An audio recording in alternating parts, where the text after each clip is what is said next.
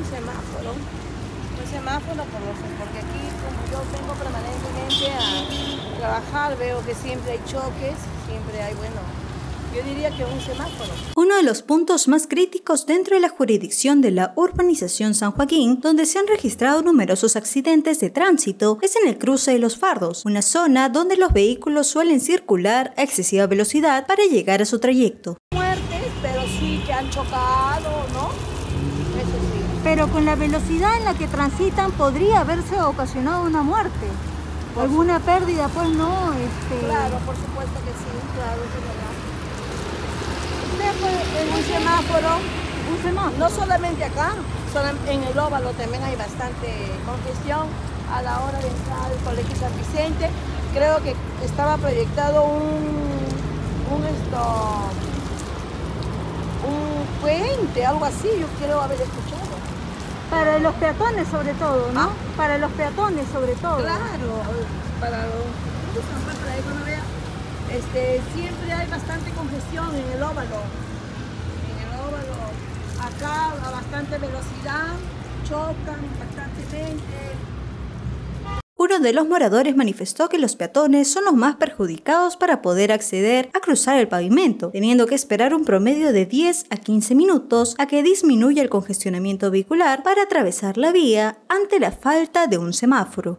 Ustedes siempre bien transitados es necesario poner un semáforo o algo que impida, porque muchos accidentes han ocurrido en este cruce.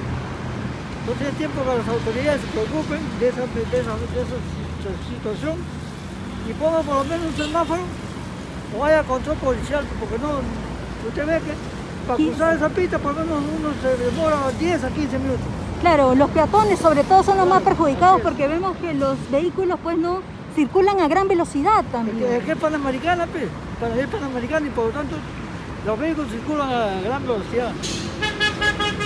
Entonces, en ese sentido, los más perjudicados son los peatones. Los peatones quienes no quieren acceder a la otra vía, pero no pueden por Y como le digo también, acá en esta esquina hay un grifo que está mal colocado.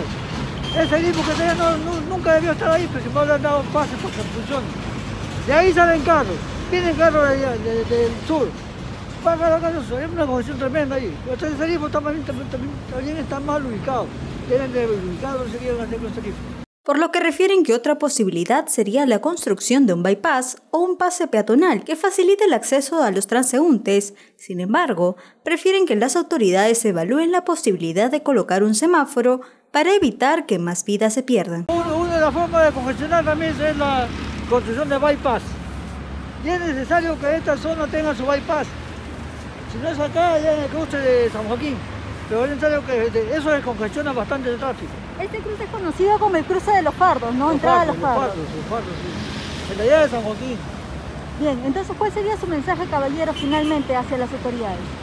Que por favor se preocupen de la situación del tránsito vehicular acá en la, Panamericana Sur, a la altura de los cruces de San Joaquín y los fardos. No esperemos que ocurran más detalles para recién tomar cartas en el asunto.